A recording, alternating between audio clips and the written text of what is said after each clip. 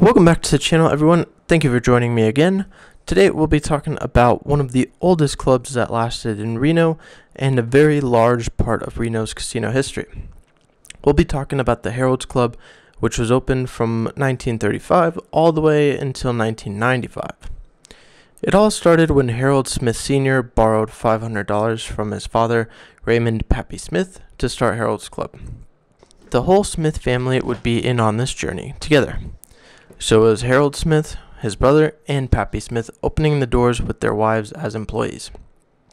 Harold's Club opened with a single penny roulette game as well as a so called flash wheel. They also opened up with only two slot machines, one nickel and one dime slot machine. This place was very small when it first opened up, but it wouldn't take long for this place to blow up. The club was located at 236 North Virginia Street, which is at the corner of Commercial Row and Virginia Street. Prime spot for the Harold's clubs to be located. Later into 1935, they added blackjack, and shortly after, a Klondike game, Fantan, craps, and a Red Dog game. Now, I've never heard of Klondike or Red Dog before, but looking into Klondike, it seems to be a variation of craps and poker put together, and Red Dog is another form of cards. Harold's Club was also the place that announced Mouse Roulette to Reno, which is very interesting. In May of 1938, the first racehorse keno game was tried, and it didn't succeed. But they tried again soon, and they ended up opening a horse race book at Harold's Club.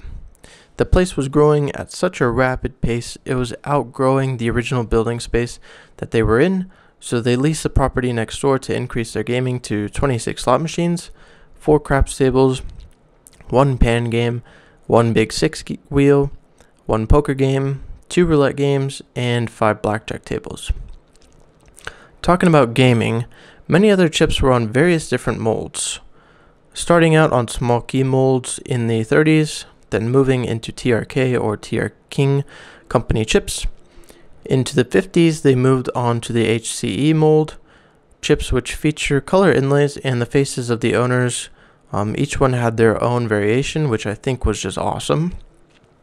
Looking at the chips found on Chip Guide as well, it's very interesting that they had $20 chips in the 50s, which I'm not too sure what they would be using them for. My guess would be poker or some type of blackjack. Chips made in 1941 feature the letters FAB, which are for Fred A. Beck, who was a friend of Pappy's. Pappy asked Beck to lease the racehorse keno game for him, and Beck also told Pappy that he had a lease for Pan and poker. So that's when those games were introduced, but that could also be what those chips were used for. Something also very interesting is that they had $500 and $1,000 chips in the 50s, which in today's money is something like 4.7 thousand to $5,000. Harold's Club was booming in the 40s, and this was when Reno was the Vegas of Nevada. Gaming was huge, and Reno, in my eyes, gave Vegas a blueprint to follow. All those small clubs near each other in downtown showed what was possible when people wanted to gamble. Places like the Harold's Club, Nevada Club, Harrah's, Mapes, and others showed that making something big could easily be done. The Harold's Club was known as the Friendly Club. Many who went there got to meet with the owners and felt like they were somewhere they had visited multiple times. Everyone was having fun, everyone was very friendly, and they made you feel like you were at home. They were also the first people to introduce female dealers into the gaming business, which was a very big deal and a great move at the time. Into the 40s, when American troops were going to defend the US in World War II, many women needed a way to make some type of money, so many went to casinos to get jobs in places like Reno. At Harold's Club during World War II, it was said that 9 out of 10 employees were women. In September of 1941, the Washoe County Commissioners even tried to get rid of female dealers, which wasn't really fair at the time. The Harold's Club was doing so well with everyone around town that dealers from places like the Palace Club, Bank Club, and others were coming to the Harold's Club after work to play and were able to get tips from the Harold's Club dealers to better themselves. Into 1947, the club would get licensed for even more games and slot machines as well as expanding. They also opened their covered wagon room, which had the first escalator in Nevada. The mural that was on the front side of Harold's Club was done by Theodore McFall. It was made of 220 separate porcelain mosaic panels and was said to be the largest such project ever undertaken. It cost around $60,000 and took four months to complete. Getting into 1950, the club had basically doubled in size and now had around 500 slot machines, 46 table games, Chuck-a-Luck, and Keno. A few months later, they would purchase more properties surrounding their place to expand even more. To get an idea how popular the Harold's Club was, their management reported on Labor Day weekend of 1952 44,206 people passed through the doors on Saturday, Sunday, and Monday. Pappy Smith made sure that he advertised the Harold's Club as much as possible, using their slogan Harold's Club or Bust, and it shows that it was paying off. It was the largest casino at the time, and just a year later, after getting their license expanded, they expanded again. This time to have 10 craps tables, 10 roulette tables, 28 blackjack tables, and over 600 slot machines. The 1955 movie Five Against the House was mostly filmed inside of Harold's Club, featuring Guy Madison, Kim Novak, and Brian Keith. While watching the movie, you're able to see the Harold's Club's so called pigeonhole parking garage that used a forklift mechanism which raised and loaded slash unloaded the cars to their desired location. There were multiple different situations where groups of men played roulette, winning a huge amount of money and watching the wheel for days on end to figure out which number to bet on. In January of 1960, the Harold's Club opened Room 25, which commemorated the casino's 25th anniversary. In this room, they featured the very internationally popular game of Baccarat, which made the club the first to offer Baccarat in Reno, but this would also make sense as to why they had the $20 chips as well. In the early 60s, the Smiths would sell the Harold's Club to a New York investment firm, the Webber Corporation, but they leased back the casino. The Smiths ultimately were still owners of the Harold's Club.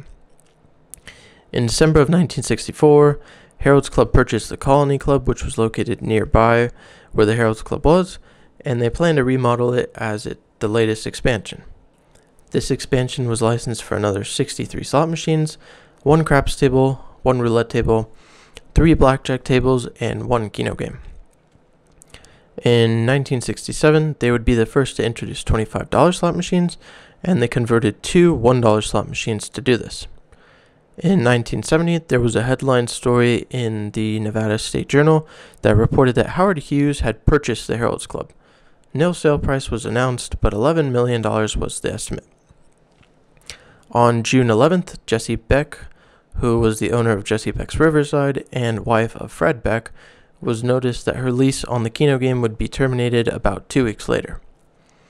Once Hughes purchased the Harold's Club, things got more into a corporate run show, not so much like today, but the early stages of it. In 1985, the club turned 50 years old, and many of the original Smith family owners were starting to pass away. Things were starting to change, and at the time, they had over 1,500 slot machines, 61 table games, 3 Keno counters, two restaurants, five bars, and over 1,500 employees. In 1988, Harold's Club would get taken over by Lincoln Management Group, and then into the 90s, Phil Griffith, president and chief executive officer, then owner of Harold's Club, announced that they had entered an agreement to sell the casino to New Jersey com- gaming company called Gamma International. Gamma International had plans to turn the Harold's Club to something like Harold's Club Down Under, to have an Australian theme, but the sale was called off in early 1996. Harold's Club was a place to be in Reno during the boom of the 40s and 50s. The Smith family was known for being the kindest owners and treated everyone like they were at home, which made them very successful and helped grow the Harold's Club so quickly. The memory of the Harold's Club will forever be remembered by those in casino history as well as those in Reno. I hope you all enjoyed this video, and if you have any memories or know of stories from the Harolds Club, feel free to comment them down below. If you're new here, please consider subscribing as it helps me know that there's new people watching. Thank you again for watching and joining me, and I'll see you guys in the next one. It's been Oscar, and peace.